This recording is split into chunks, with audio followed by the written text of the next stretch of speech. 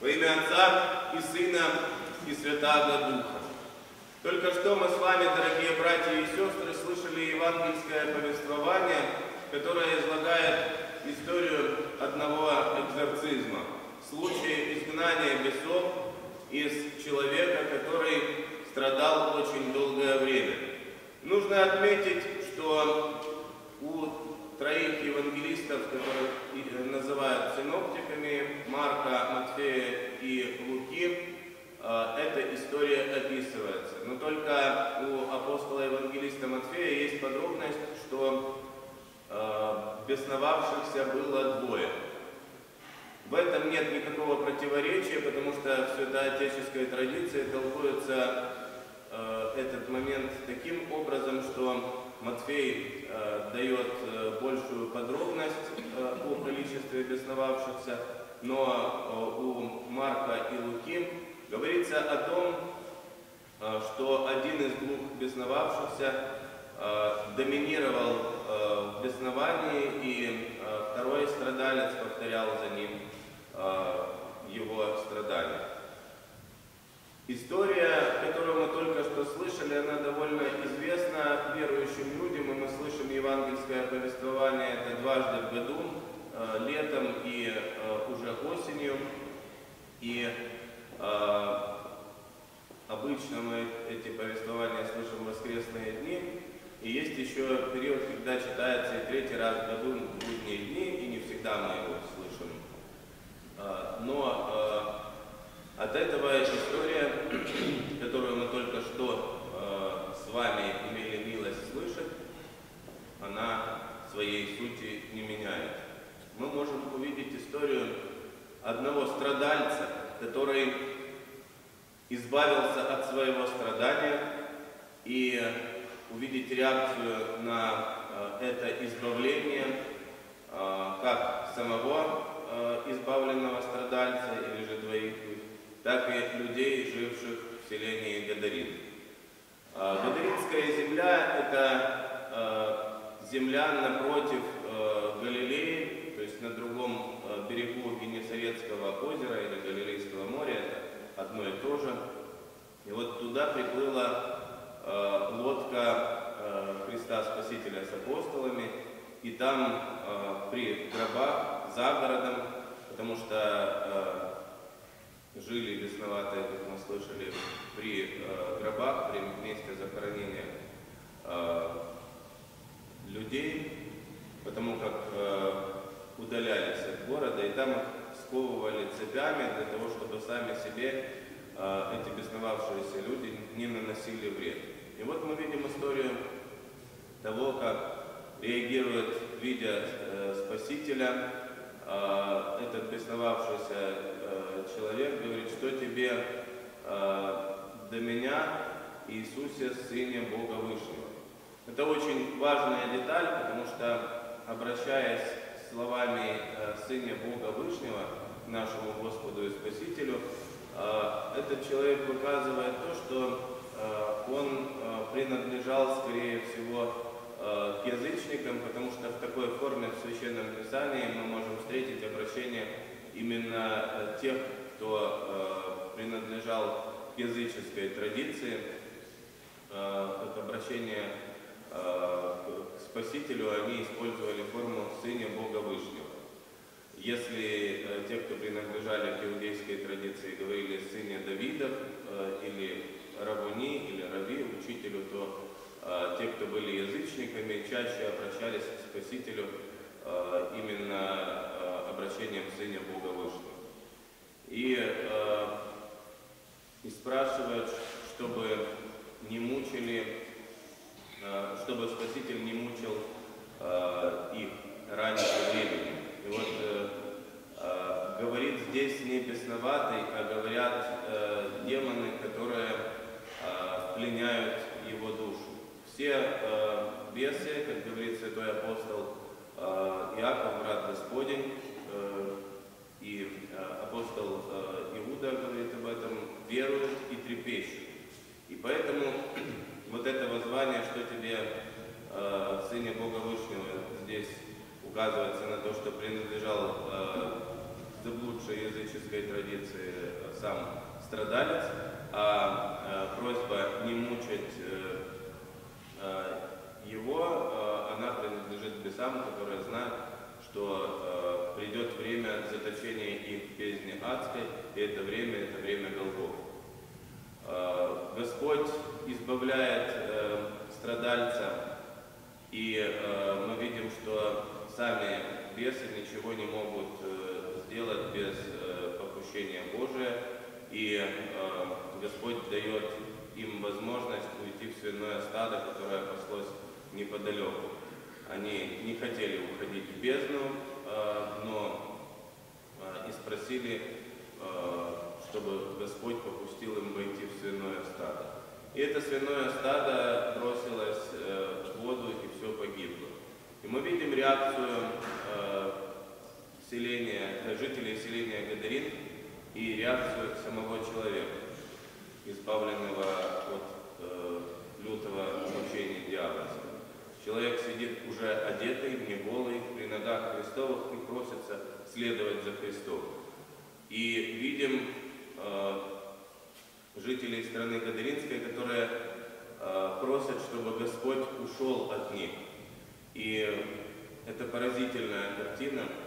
Тут избавление от страдания, можно было бы порадоваться за человека, но э, люди эти, они ждут, чтобы Христос ушел от них. Ушел, чтобы не мешал им жить, как они жили до того. Э, Очень удивительное и показательное сегодняшнее Евангелие, потому что э, жители страны Гадаринской сами были по исповеданию преимущественно иудеями. И э, то, что они содержали свиней, говорило о том, что они нарушали закон Моисея, закон Божий, потому что э, из-за того, что все э, народы ханаанской земли, которые принадлежали к языческой традиции, э, использовали для э, идоложертвенной, э, э, идоложертвенного культа свиное мясо, они воскуривали фимиам э, и э, возжигали э, свинину, э, принося ее своим лжебогам, а а также окропляли все свиной кровью, и поэтому закон Моисеев воспрещал иудеям прикасаться к свинине как к нечистому животному. И лукавые духи ищут возможности, нечистое присовокупляется к нечистому, лукавые духи ищут возможности уйти в свиное стадо, и Господь им это допускает. А что же люди, которые э, пасли этих свиней? В языческой традиции, если мы возьмем э, Илиаду э, Гомера, там э, о свинопасах говорится возвышенно, и они называются божественными свинопасами, потому свинина была ритуальной э, пищей для языческой традиции, ее еще называли пищей божественной. И э, для язычников ничего бы здесь странного не было бы. Но для иудеев, которым прикасаться к свинине э, было возбранено законом Божиим, содержание свиней, э, оно э, было э, вообще как бы э, антирелигиозным таким действием и вопиющим грехом. Другое дело, что они, конечно, занимались разведением свиней ради своего бизнеса и готовы были ради э, собственной наживы приступить к закон Божий. И вот Господь вторгается в их зону комфорта. Жили они себе, зарабатывали много денег, а тут э, человек, который был исцелен, э, весь легион демонов, который был в них, он вошел в свиное стадо и погубил их заработок. И вот эти люди думают, уходил бы ты, Христос, подальше, чтобы ты не мешал нам зарабатывать. И все равно, что а, человек, который получил исцеление, больше не будет страдать, и тут э, состраданию нет места, когда э, речь идет о неправедной наживе. И э, видим мы реакцию самого человека. Он сидит при ногах Спасителя, уже в приличном виде, не срывает с себя одежду, он э, в здравом рассудке, и он просит И интересное благословение ему дает Господь. Он не дает ему возможность следовать за ним, как это дается другим апостолам, но становится таким безымянным апостолом, потому что Господь ему дает возможность идти э, в дом его и поведать, что сотворил э, ему Бог. И заканчивается Евангелие, как мы слышали, словами, что и пошел проповедовать по всему городу, что сотворил ему Иисус. Две разных реакции на Христа. У людей, которые живут и все устраивает, а, и у человека, который был в беде, Господь протянул ему руку помощи. В этом а, повествовании мы видим, что Господь дает возможность исцеленному свидетельствовать, терпеть, конечно, за то, что свидетельствует, потому что если э, жители страны Гадовинской прогнали от себя Спасителя, то, конечно же, всякое слово о том, что Господь исцелил э, э, бесновавшегося ранее страдальца, э, оно э, встречалось бы со злобой а, которая связана с тем, что прекратился серьезный заработок у местных людей. Города были небольшие. И Евангелие сегодняшнее, оно говорит о том, что этот исцелившийся бесноватый, он со смирением принял, никакой реакции не было, что он прикословит Христу. Он пошел и проповедовал, говорил о том, что сотворил ему Бог, и э, без, без сомнений он терпел э, насмешки, терпел укоризну, и все это терпел за Христа. Очень часто бывает сложно проповедовать о Христе и тем, э, кто нам близок, и коллегам на работе, и тем, кто с нами в одной семье, но не разделяет наших религиозных взглядов. И здесь мы можем повторить подвиг исцелившегося от лютого беснования человека и э, тактично свидетельствовать о Господе. Но это налагает на нас, верующих, серьезную такую обязанность, братья и сестры. Мы не можем насильственно проповедовать Христа, и это было бы глупо. Мы можем засвидетельствовать своей жизнью о нашем Господе, иногда потерпеть э, за него. Иногда мы можем быть непонятными, но тем не менее главное свидетельство – это смиренное свидетельство любви, которое говорит о том, что Христос с нами и желает нам всякого блага. Беснование – это реальная сила, которая э, попускается в крайних случаях Богом человеку, для того, чтобы и это э, было обращено к спасению, ведь промысл Божий и злое обращает в доброе. А, в одном древнем материке есть история о том, как а, возле монастыря жила а, красивая, но сильно мучившаяся от беснования девушка. И жившие неподалеку от монастыря неверующие люди укоряли монахов, что какие же вы верующие, вы видите, здесь страдает девица, и никому из вас до нее нет дела. Если ваш Бог силен, вы молите для нее исцеление.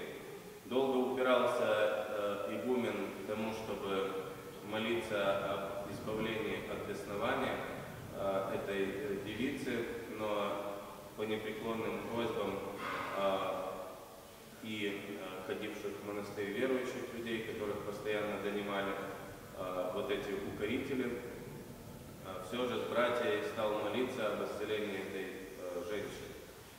И когда она исцеление, ее объяла блудная страсть. И э, тогда э, с братьями вместе игумен начал молиться о том, чтобы совершалась воля Божия, а не человеческое порицание. И таким образом Господь явил э, подвязавшимся в монастыре монахам то, что э, это попущение было ради спасения э, души э, этой э.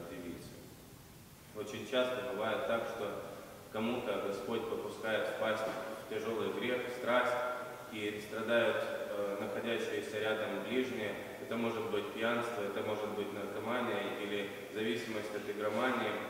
Э, но это все Господь попускает для того, чтобы обратился человек и обратились ближние. И никогда Господь не попустит того, что не по силам э, человеку, э, никогда Господь не попустит того, что э, не, послед... не приведет впоследствии к спасению. Укрепляясь благодатью Божией, будем уповать на то, что милосердный Господь даст нам разумение евангельских писаний тому, чтобы мы на вокале закона Господню и всегда были готовы либо следовать за Господом, либо свидетельствовать о нем, в каких бы мы условиях ни González.